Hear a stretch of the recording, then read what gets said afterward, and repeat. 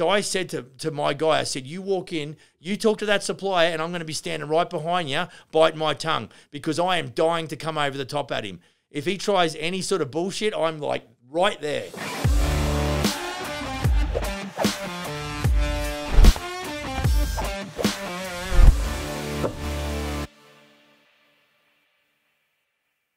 Hi everyone, welcome to the Business for Builders podcast. My name's Max. Uh, I'm the Smith and Son CEO here in Canada.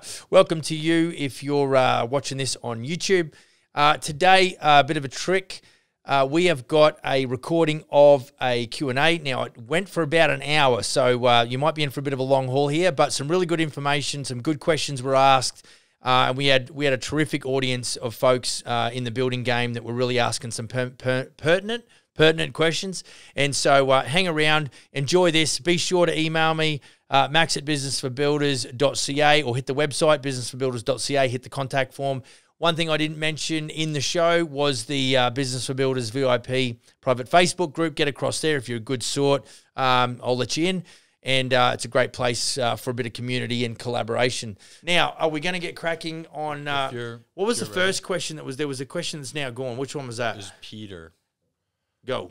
Cool. Uh, Peter from TikTok. What is the biggest expense for a business? Mate, I think, Peter, thanks for your question, champion.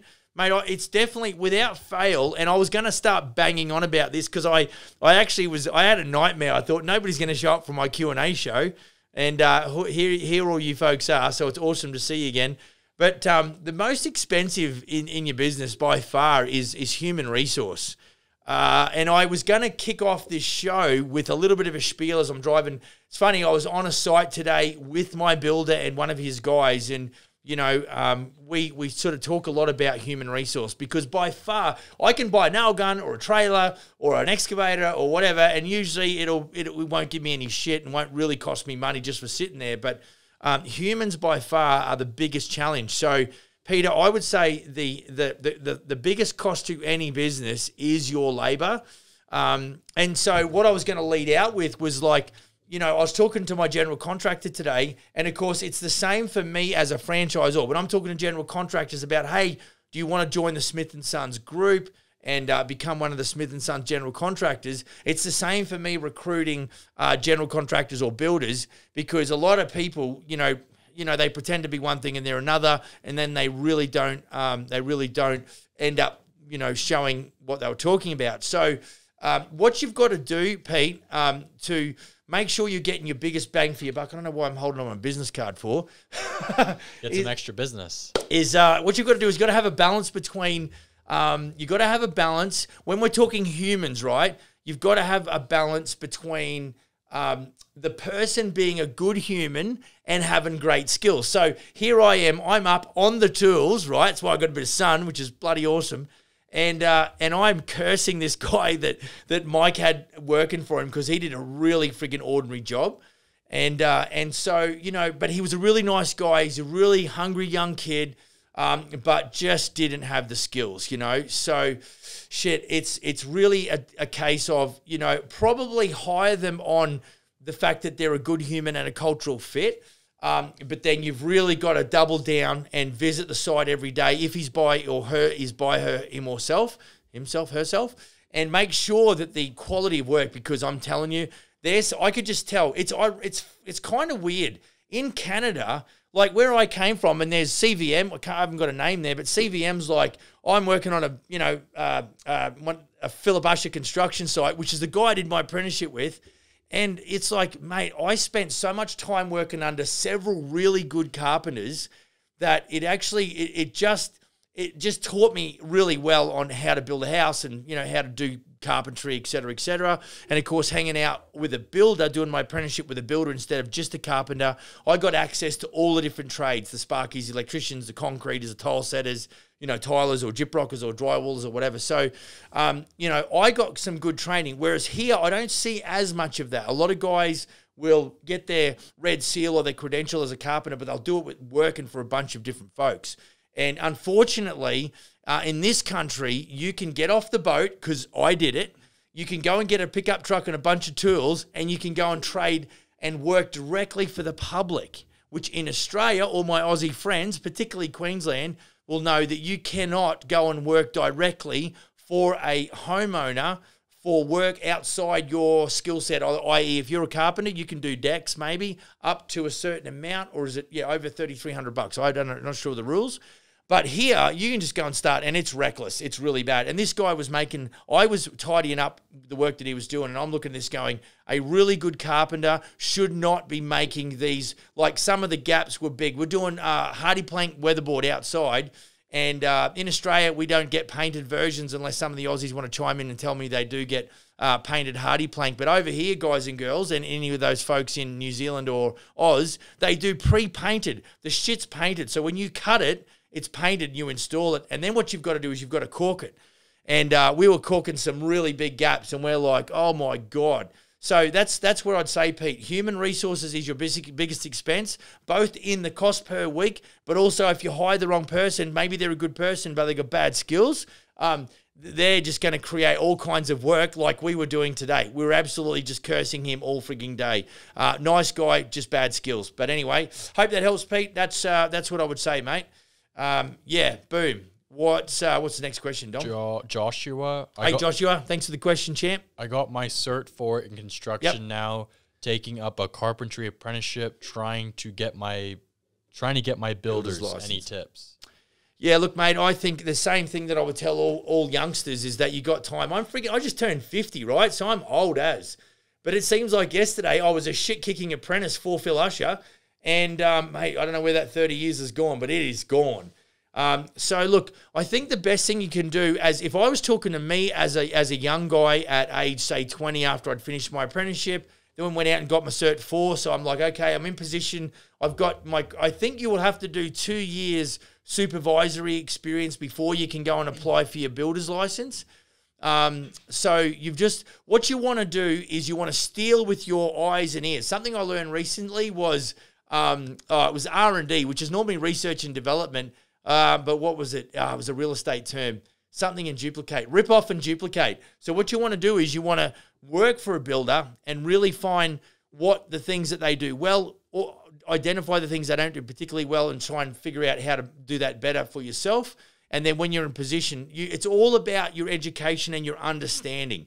Because if if you go out there, this is what I thought. I thought, well, I've got a carpentry joinery license. I got my builder's license. Oh, it's guaranteed I'm going to make money. But there was so much shit that I did not know about uh, business development, uh, financial management, and hu- human resource management. Those were the the largest. So, how do I go about developing a business? How do I uh, keep my eye on the financial component of my business? And how do I recruit humans? Because I know I can't do all this shit by myself if I want to go and scale up a business. Now, if you just want to do quarter of a million, 300,000 a year, and you just want to do your own thing as a one man band, like it's probably not as critical. But if you say, I want to go and build a 1.5, 2, 3 million dollar business, you're going to need humans. So, and you're going to have bigger numbers, and then you've got to understand business development fundamentals. So, mate, I would say getting your credential. I think I would say this: the easiest thing that I ever did was go and get my builder's license. The hardest thing I ever did was go and make money uh, and be be a successful business person and run a successful business by far. Because you know everything changes all the time. Like that's why I say business is an infinite game. Have a quiet year this year where you're getting the foundation sorted out within your business, within yourself. Be educating, always be growing, uh, and then go and say, right, next year I'm going to go and launch. And so this is why I think really a business coach is good, but if you've got a business coach who knows nothing about construction, it's going to be not so good. So um, yeah, just you know, this is why guys and girls, I'm more than happy to hate take emails from you guys, max at uh, businessforbuilders.ca, or go to the businessforbuilders.ca website, click, go through that contact page. It'll end up on my phone, and I can come back to you via email if you got some specifics. And I'm not saying that I'm going to be your coach, but it's just in me. It just oozes out of me naturally. Like if you say, okay, the next five years, I want to get my builder's license and I want to start a building business from my home office. Um, what should I be doing? And maybe we can talk a little bit about what you're doing, branding and marketing, and on social media, and, and you know what your what your what your ideas are around about establishing yourself as a business and a brand, as an authority in your area, and then of course how are you going about quoting and estimating. So I'm kind of like not offering coaching services, but I'm kind of offering coaching services. But um, yeah, it's uh, that's sort of where we're at at the moment. Hope that helps, Josh. Thanks for your question. Braden, Hey, Braden. Do you have any advice to ramp up lead generation in the early stages of the company? Yep. Look, I think what I would say before we jump to lead gen, gen Braden is that what you want to make sure, and if I was having a chat with you, Braden, this is what I would say. I said, Braden, Braden, tell me about your sales process. Because what if I could get you 30 leads this, this month? What would you do with them? And and I don't know where you're from, Braden, whether you're North America, which means you could be doing a lot of cost plus. If you're from from Oz, you'll be doing mostly fixed price. Kiwis kind of can do a bit of both. Uh, you know, they they sort of flip between the two depending on where you're at. So my my my question to you would be, what is your sales process? Maybe what are you doing currently? Um, and then certainly around estimating, because there's no point in getting leads top of funnel if you don't have a sales process. And then if you are estimating incorrectly, that is going to go against you because profit is a natural byproduct of good good estimating. If you don't understand how to build shit in your head, you're not going to be able to estimate it make the proper allowances. Therefore, you're going to gut yourself financially because the job costs you more time and money, and then you're going to be dead in the water before you even get started. So, see how all of this ties together. It's not like I just need more leads. Now, if you're a gangster, you know, estimator and you've got a sales process, okay, now we're ready. We can go and do it. I just would urge you, Braden, not to put the cart before the horse. That's all I would say. And um, again, hit me up on email if you got some specifics because you know this is what I you guys and gals I love the fact that you're, you're bombing in here and, and chatting to us uh, you know asking a few questions. But you know really what it comes down to there is no one uh, thing fits all because for me I, I I love to talk to people which kind be and because which means it makes me a good salesperson. Not because I can close a deal, but what I focus on is finding out what's important to you, the client, and I make it important to me. Now, if you said, look, Max, I really got to renovate this basement because I've got a couple of teenage kids and I need two bedrooms downstairs, that's one thing. And I'm like, okay, I get it. I'm a father of six. Um, so what I'm doing, is building rapport, right? I'm father of six. Yeah, I can understand why you need the space. Then we start talking about the money side of it. And I'm like, well, what's your expectations? What do I need to build this for to make it comfortable for you? And so this is the process of, you know, really nailing down your process and finding out what some guys say to me, like, I, I just don't like talking to people. And I totally get that shit, right? Um, and so it, it really does, you've got to get to know yourself really intimately and understand what you love to do. I mean, you know, I would consider going into real estate because I love selling. Um, I sell franchises. I love that. I'm in construction. I love selling to retail.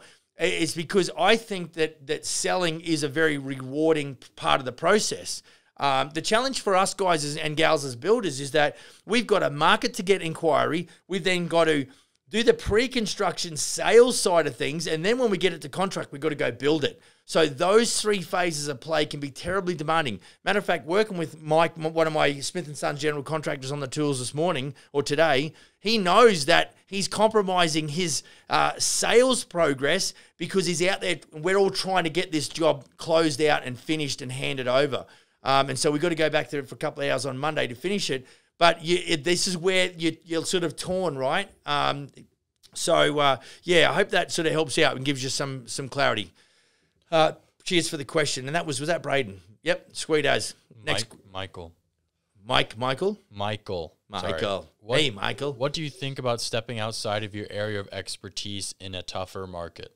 Okay, I see. I would automatically need more more insight as to stepping outside. Okay, so for instance, what if I was into franchising like I am, and I wanted to step out of selling franchises to to general contractors or builders and go and sell real estate? I would say that that's probably something that you could do. Now, does that mean you could do both? I don't know because I kind of believe that man that chases two rabbits doesn't catch either of them, so that's a problem.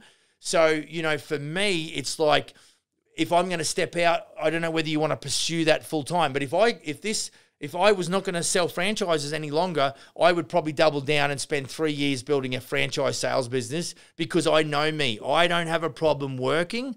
Um, and so uh, this whole thing about oh it's 24 you know 24 7 365 type approach i'm like yeah cool i'm already doing it so um hope that helps He, he just Uh, added yep. going from new builds into renos. right so his initial question was what his initial question was, I was trying to get context. "What do you think about stepping Ah, outside got of your area?" Okay, that makes complete sense. Okay, so it's it's super simple. I come from a new home background. Initially, I did all my time went from building you know four thousand square foot homes or about four hundred square meter homes, roughly give or take, if you're uh, in the old metric system. And then we went uh, then we went into townhouses, and then of course Phil's now in high rises. But um, yeah, going from going from a new home build into renos, uh, I think. I think that it's it's it's more difficult, but it's what I like because when most builders that I know, even in this town, they're like, "Oh, I don't want to do renos." Why? Because you kind of got to have X-ray vision. Um, and you've got to make more of an allowance. So your markup percentage in new homes will actually be less because you've got predictability in the new home build process. So if you wanted to jump straight from uh, doing new homes to renos and you were just going to use the same markup percentage, you would actually cost yourself money because what I would mark up when I'm doing an estimate for a reno is significantly greater than the markup that I would apply uh, doing a new home. So that's the straight straight away. That's the first thing that I would change up. And then what you've got to consider is in your um, you know, in your development process of your build schedule, you've got to understand that um, you know, Renos can be cock up central for trade. So you don't just have a uh, an electrician or a sparky go in and do a rough in and he's in and out. Matter of fact, one of the larger ones was about 150, 160,000 dollar kitchen reno. Um, we actually uncovered a shit ton of damage to the wiring caused by uh, rats. So we had there was an infestation there. So we had to time out on the rough in and go and fix and quote and you know so the time out on the job well we had to remedy that so those sorts of things you don't have to you don't come across in a new home um, but sure there's some other things where there's some holdups but certainly going into renos yeah you need to really just step back and uh, you know try and anticipate all of the things that are going to cost you time and money because if you don't um, they will cost you time and money so sweet Sefa. Zephyr, hope we got that right Yeah, I hope so. because I'm just repeating what my guy's saying to me. Let's go. How can I get my first commercial job, painting or tile? Yeah, look, I think you know, I think about when I came to this this town eight years ago, um, and really, I think what you've got to be, and so because I was a natural, it's funny. I would say I'm a natural people person. That's why I'm here doing Q and A, shooting from the hip. Um, but don't get me wrong, when this show's done, and after having worked eight hours on the tools, um, I'm ready to piss off home and just put my feet up. Um, but I- but I think, um, you know what? I've forgotten the question. I, you felt me doing that, didn't you? Yeah, just talking out of your ass. Oh, I was trying to give some freaking context. Relax. How, right. How can I get my first commercial? Yeah, right. So what I what I was getting at, what I was getting at was um you got to go and just press the flesh. I think there's so much bullshit and bravado out there right now. If a guy walks in and talks to me, it's more likely that I'm going to give him a shot because I respect the friggin' the hustle, right? So if I was you, I and you wanted to get into commercial and you want to do painting or tiling, I would go around all, and they're not hard to find. You, I mean, commercial sites are pretty huge. I would go around and just shake hands. Matter of fact, I would probably harass some of the guys that are on there because what you're looking to do is just build a network. And then at some point, if you shake the right hand, you might get lucky. He's like, well, matter of fact, I just had a painter, you know, had a tragedy in his family. He's he's having to, you know, basically go and take care of that. I'm, I'm out, I'm dead in the water with a painter. I'm happy to give you a shot. Like you just the, the, the harder you work on that, the luckier you get. But it's all got to do with the volume of network. So like if, if I was to get into real estate, you've got to work your own um, sphere of influence. You're like the people that you know are the going to be the ones that are going to be most likely to give you a go. So that's why you know it really pays to uh, to really not just do the lazy social media thing. Although we're all about social, I get it.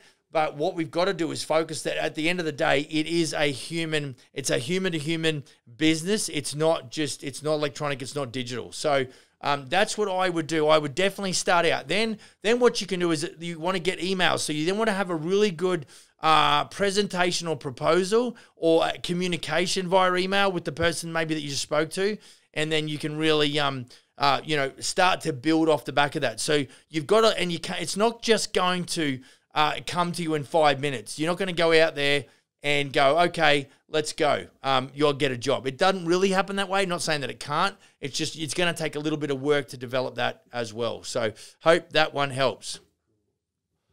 Joe. J O E. That's usually how you spell Joe. Just checking. All right. Joe, let's go, Joe.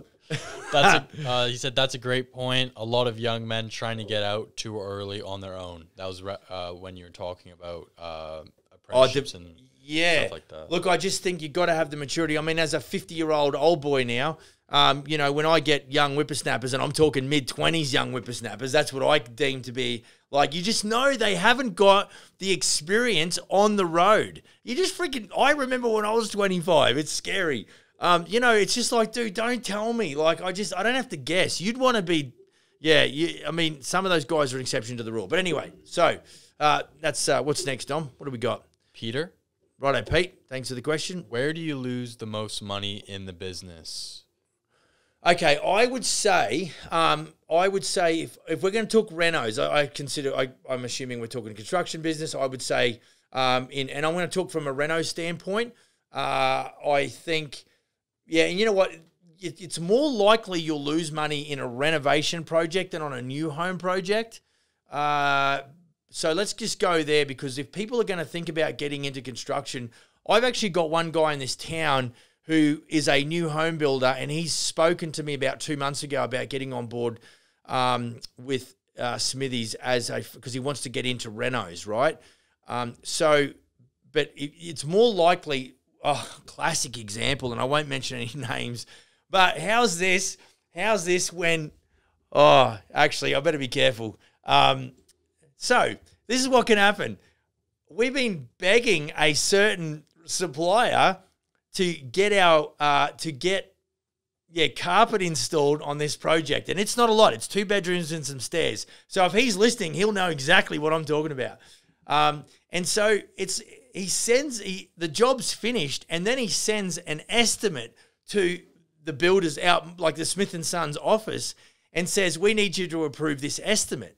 And then one of my builders, and I was in the vehicle with him when he got it, he literally just flew off the handle. He's like, because he I was driving and he was sort of checking emails, and uh, he he went lost his friggin' mind. So I said, time out. I'll go talk to my other guy in town here, and uh, I'll go and get a comparison and see if we can't uh, get a comparative quote. Anyway, long story short, over the counter, he gives me a quote that is less than half of what for the same exact product, the same scope of work, the same square footage or square meters, everything was the same. And this guy dead set gave me a quote for uh, three and gave three and a half grand less than than what other guy. It was stupid. It was literally less than half price.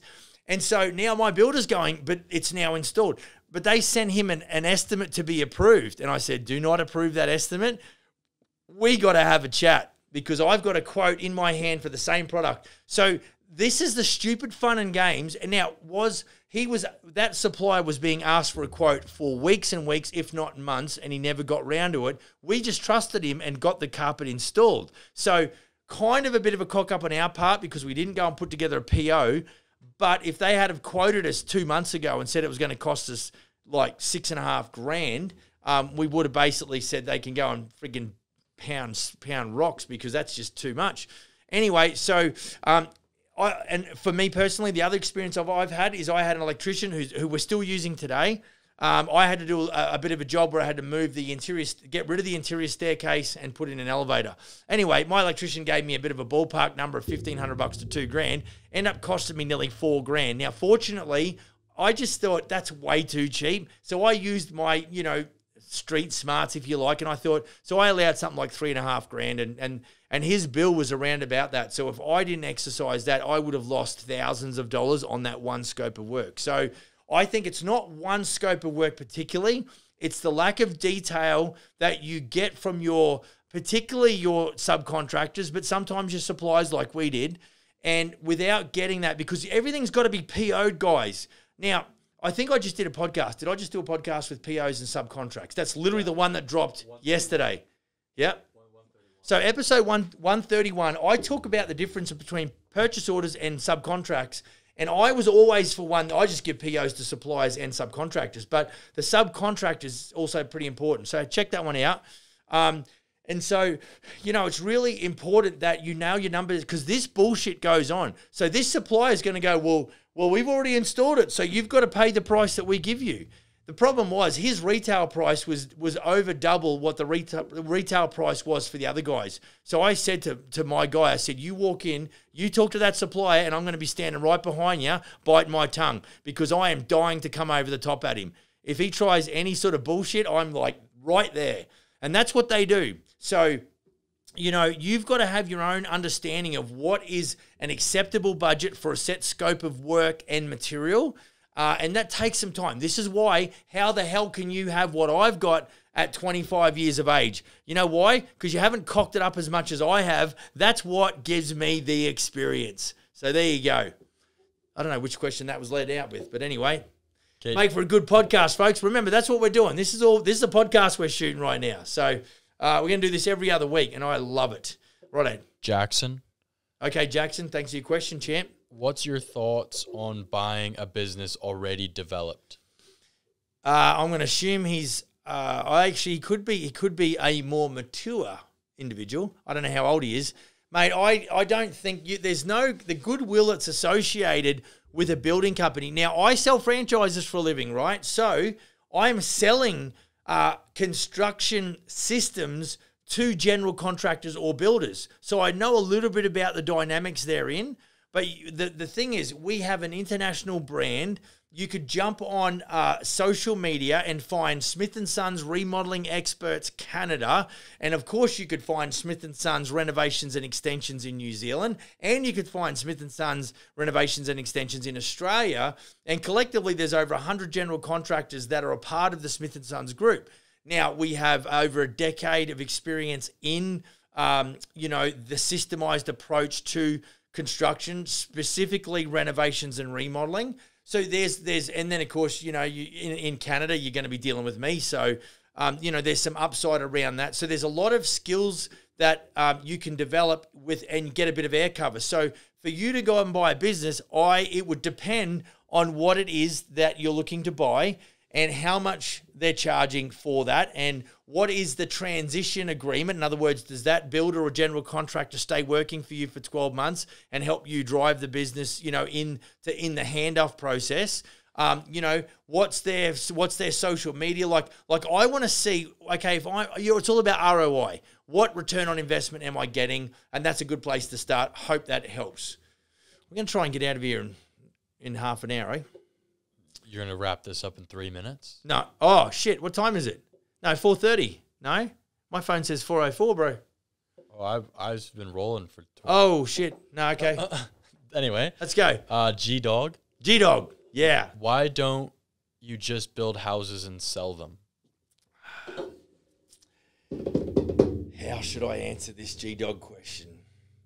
G Dog, because I'm getting old, and. Uh, you know, there's there's probably a part of me, and I've I've had some challenges with some of my general contractors. There's no question, but the guys that really get it, and the guys that are good humans and have good skills and are teachable, it's a very rewarding business. Um, there's no question that in a in a heartbeat I could go out on my own. But in this town of forty thousand people, I've got I've got three general contractors under the Smith and Sons brand, so I don't really want to go into competition with those guys. Um, but the minute you know my guy in this office said to me, "Hey, I've, my PM's walking out. I need some help," I'm like, "I'm your guy." So I I do enjoy it, but I you know from a business standpoint and from a wealth creation standpoint, I've chosen to go this route. Um, and that's that's probably why. You know, you've heard, you know, Dad always used to say to you, "Well, you know, get a trade to fall back on," all that sort of shit. Um, whereas you know, for me, it's it's there, and I can you know do it. Um, you know, I'm, I'm demonstrating my skills as a carpenter, building a chicken coop at the home at the moment. Um, but uh, yeah, like I could go and do that, but yeah, I'm really committed to this um, physically and financially, and also I think there's a lot of reward that comes to me that money can't really buy. Um, but hopefully, in the next five years, yeah, it'll it'll set me up pretty well. So um, it's a very different type of business model and one I'm sort of really grateful to be involved in. There you go. Joe? Hey, Joe. Same Joe or I different think Joe? it's the same Joe. Okay. Uh, I recently started my own carpentry business. What would be the best way to help bring more work in? Yeah, it's funny, you know, as a carpenter, and I had about 15 guys working in about, uh, what, five crews up and down, you know, southeast corner of Queensland. And getting work as a carpenter wasn't terribly difficult, but making money with those carpentry crews, oh, geez, it was hard because understand this that when builders like me and my guys, essentially what we do to carpenters is the rates are set because we we, we know what the retail marketplace buys your labor for and we have to buy and that's retail but we have to buy you at wholesale and make money so we can sell you at retail and so what that really that did to me is it it's like I was taking all this risk and I was putting you know guys on and blah blah blah and it was just so hard to make a dime because their the rates were so were cut so shy because they were they were basically uh, buying your labor at wholesale. So what I would encourage, I think if I spoke to myself, oh geez, yeah, it would have been 25 years ago now, and I had the same goal as to build, a, you know, a carpentry type service business to, to builders. Now, if you're build, if you're dealing maybe with homeowners, that's a slightly different story because then you can sell your labor at retail. Um, whereas if you're subcontracting for a builder, know this that they are going to be buying you at wholesale rate and selling you at retail. That's the arbitrage. That's how they make money.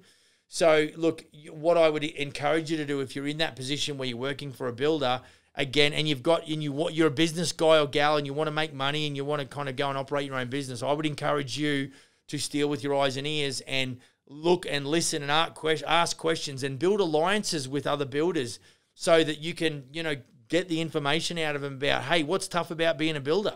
hey, what do you find your biggest challenges about operating a building company in this town? Like those sorts of things will start to give you a bit of a landscape or some perspective around how you get you want to go and you know live your life as a business person. And and this is why some most a lot of people I don't know what the percentage is, but probably you know shit seventy percent of people work for uh, you know work for somebody because there is mate there is so much stress associated with running a business. Um, uh, this aspects. There's times where I think about stuff at night going to bed when I shouldn't be, and it does stop me from going to sleep. There's no question. You worry about all kinds of stuff. I've got five general contractors, and I'm worrying about the lead gen. I'm worrying about their ability to, to convert deals.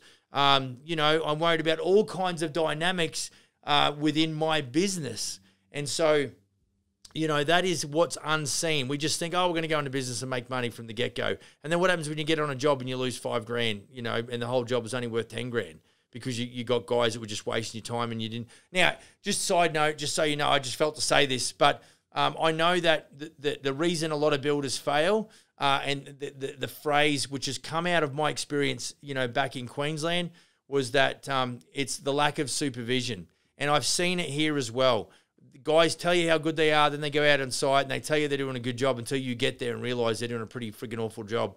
And so, guys and gals, um, it's the lack of supervision. I, you know, for a new guy, we've got a new guy started for one of my guys. He's not a bad little carpenter by the looks of it so far. But I will be on his job site every day for the next three weeks. I, I will just will bug the shit out of him. Not that I don't trust him. I just, you know, you tell me you play a good game. All right, well, then show me. And if it's at my standard, then we'll keep doing business. If not, I will have to let you go. Simple as that. So, um, righto, let's go. E- Emmanuel? Hey, Emmanuel, thanks for your question. What skills slash skills would you say has helped you the most since your carpentry apprenticeship? Yeah, I think was that question skills slash skills. What skill yep. slash skills? All oh, right. So like what yep, skills? Yep. I think I think uh, you're welcome, Joe. Um, look, I there's no question because I never went. You know, I've got business cards with CEO written on it. You know, like it's kind of the biggest wank. But anyway, um, it's what my job is to build a business. Simple as that. No different to yours. Um, but I think right back in the early days, I mean, I remember riding my pedal bike probably 15, 20 minutes to wash my uncle's trucks for 10 bucks a piece. And then I would go home with 20 bucks in my pocket and I'm like rock star. So that that was uh, shit. I was still in elementary school doing that. So um, you know, I think it comes down to what you what you want to do and what gets your attention and what you love to do. And then I ended up working at a gas station, which I was really bad at. Um, but I just I wanted to get to the money. But what that did is it set the foundation that when I knew when I probably recognized in the early days how hard it was to make money. Uh, and some guys and gals make it look easier, but I think for the majority of us, it's an absolute frigging grind. So what I what I probably understood from an early, I, I was not I, I didn't and I think I've said this before on shows before, but you know I don't think I I don't think I ever really you know was a first place individual a lot of the time. But what I did recognize and what I enjoyed was that I love competition and I am a competitor, which makes me an irritation to my competition because I never quit. So that's a little bit of the subtle side of my personality because I want to quit and I talk like I want to quit, but I can't quit.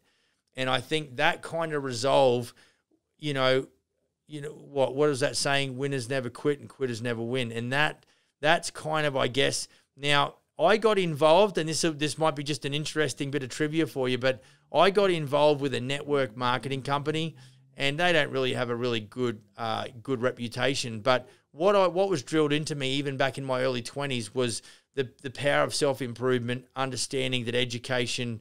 Uh, and the six inches between your ears was what was going to determine whether you're going to be successful or not. Uh, that really, that kind of culture, that around business development, really got ingrained.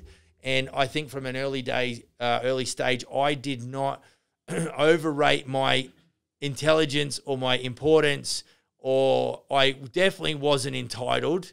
I knew I was going to have to actually, you know, get my sword out and slay dragons to make this happen forever. Um, you know, so I, I think it was that it was that resolve. But I really, a, I love construction, but I was really, I was really uh, energized and excited by business systems that worked. More recently, I, you know, I loved watching uh, Jon Taffer, and he was he would he would uh, run a show called Bar Rescue, and he would walk into some pubs and bars, and they were an absolute shit show, and the business was run by operators who had no clue, and they couldn't under, and you know they had couldn't understand why the business was spending so much money on alcohol and wasn't making money. Um, and those, and then of course, um, who's the other guy? Gordon Ramsay, you know, um, and love him or hate him. Then there was The Apprentice. Those kinds of things where I'm like, this is not just about me being a really good carpenter, and I think I'm okay at being a carpenter, but there was so much more around if I'm going to take a technical skill set and monetize that and convert it, there was so much more. So, you know, in the boardroom next door here, you know, I, I set out as many books as can fit across my four foot boardroom table as I can fit there. And there's there's all kinds of different books that are there, but there's a lot of autobiographies, or sorry, a lot of biographies, probably in autobiographies, um, there's a lot of self help type books, and it was all about educating. Now I do it with podcasts. I listen to podcasts. I listen and I listen to audiobooks because there's always it's just more, the, the further I go, the more I realize how much I don't know, and so you really, you know, guys and gals, you know, success in business it's so it's so few and far between because I hang around a lot of successful business guys and I hear their stories and uh, you know it's it's not something that comes too easy. So I don't think there is a skill or skills. I think I think probably work ethic is one, doing something that you love is another, having a high level of self awareness is is certainly a, a pillar of success. Those are the components when put together are really going to set the foundation within you as a person that's going to help you develop your business. Because most people I know uh, who have put together a massive business have worked their frigging heart out and they have, you know, I think in the last 12 months, here's the deal for you guys and girls. You want to know what skill or skills is going to help you develop a business? Your ability to come back from a loss, a big loss. And I'm telling you, my last 12 months, I could tell you stories that'd turn your bloody hair green. And it, it really makes me sad because we achieved so much in this business and, and then we experienced some losses that were significant. And it, I'm just really like, you couldn't have you couldn't have told me in Christmas at 2021 Christmas time what my 2022 was going to look like. It was devastating. And yet, I don't know who says it. I think there's a, an NFL coach that says this that a setback is a set up for a comeback. And so here comes all of the bullshit talk about stickability and grit and determination and quitters never you know, quitters never win and winners never quit, all that sort of stuff. now this we can talk it. You know, I hear some. I you know, even I go onto Spotify, and um, I've got uh, I've got one one uh, a playlist that's called Hard as Fuck, and it's all about you know, it's um, who's the guy? His name starts with E. I can see his face. Uh, it'll come to me, but it's it's just this motivational type speaking because every day I've got to get my head in the right space all the time, every day because it is such a slog and such a grind. And I've talked about how the the overwhelm that can that can beat you down um, is you're right on the threshold of success. And I have got my fair share of overwhelm, I can assure you. But every day when the sun goes down, I just I exercise a lot of gratitude. I'm thankful for my what I've got in my life that is good, and then I try and get six hours sleep, and then I wake up the next day and I get after it again. Cheers. That's all I can do, and that's all you can do. Okay. That's a pretty long answer. user. Uh, he said, "Hey, what do you think subby rates are at the moment?" Oh, mate, it depends on. He didn't give us a country, did he? No, not Yeah. a country. Yeah. Look, I, you know, in uh, in Australia, you know, I don't know what the rates are now, but in Canada, I can tell you for for a decent a decent decent carpenter on on payroll, right? So you've got all the different source deductions or whatever you guys call them, and and you know holiday pay and everything goes along with it. But a good a good guy will end up costing the company, you know, close to 45 bucks an hour, which means he might be taking, you know, he might be making 35, 38 bucks an hour gross. So, but that's that's a guy working for you full time. Subby rates, it really is different. So subby rates on cookie cutter homes will be different. Uh, subby rates for carpenters, let's just talk carpenters, we'll just talk one trade. Subby rates on cookie cutter homes where they're so repetitive, the rates are going to be fairly low, but the high, the amount of work that you'll work through, um, and the fact you don't have to do any marketing will be good. Um, you know, so there's opportunity there without having to do any marketing, and you're just constantly getting it. But that's a big volume builder because they're they're doing they're appealing to the larger proportion of people in the marketplace where though they don't have the most amount of money. And then you can, you know, but subby rates like for us, uh, I know that the, one of the guys that I started giving a plug to, old Doug, he's a interiors guy, you know, paint a drywall, perhaps ceiling texture and whatever. He he is not the cheapest, but oh my word, does he give awesome service? He communicates excellently, and is excellently a word? He, and and so it's about service and value for us as builders, and we're working for some fairly well-heeled clients. We do not need to get dicked around by subbies. We need guys that say when they're going to be there, they're going to be there. And when they say they're going to be finished, they're going to be finished. That gives my scheduling program a lot of predictability, which I like. And of course, the quality of work is good. So that guy's a good human, and he is a uh, you know he's he's not the cheapest, but he and he does good work. So what that enables me to do is to get jobs. When I make promises to clients, uh, he gets shit done on time, and that makes me look good, and I appreciate that. So subby rates is a little you real you really got to do a lot of work in your own own ecosystem and just start asking questions. But make sure the work that you're going to do, you're asking questions of builders that do the same sort of work. Don't get you know talk about apples with apples, right? Next question. This is the last question that I have Yep. from our viewers. Okay, Uh, Emmanuel, Emmanuel's back. Yep. when would you look at giving the job at a 25 year old or over someone older? Yeah, look, I think um, you know we, we talked about one of the guys CVM was talking about. He's working on one of the one. He's working on a building site right now uh, on the south side of Brisbane for the guy that I did my apprenticeship with between eighty nine and ninety three. Um, and you know it. By the time he was thirty, he was a millionaire. Fact, like for real. So it, there's, it's just not. He's very uncommon. Like his type of individual. His old man was a builder, but he wasn't rocking it the way Phil was rocking it. So it, like, it's possible. There's no question. But it really, you just, it would, it would be a case of, I would need to meet you and and just talk a bit about what you're doing, and then you know, we would make that consideration. So I wouldn't say it's not possible at all. You know, like sometimes we'll hire on attitude and then we'll try and teach the skills. So, like when I'm talking to builders about becoming a franchised operator with Smithies, I, there's a lot of things. I want to know that you've got a good work ethic. Of course I do. But I want to know you're teachable as well. I want to know that you have the ability to build rapport. um, you know, and you're relatable. Like there's a whole bunch of things that kick in. And I kid you not, dude. There is. I mean, you sound like you're a decent dude. Um, I would I would hire you. Uh, there's one guy I've got in my mind, and you're as a 25 year old. I would, and he's 57. I would hire you over him all day because he's a dick, and he's dishonest, and he's a slime bag. And my guy over the other side of the camera knows exactly who I'm talking about. So it is. It's 100 percent possible. It is absolutely consideration. But you, as a young buck, you would just want to start understanding that you know it is hard for you to cut in and to get in amongst it, but it's not impossible, right? It, there is a, there's a part of it. There's a timing thing where you can get pretty lucky, and you're like, hey, I got this job with this really great company. So, um, thanks for the question.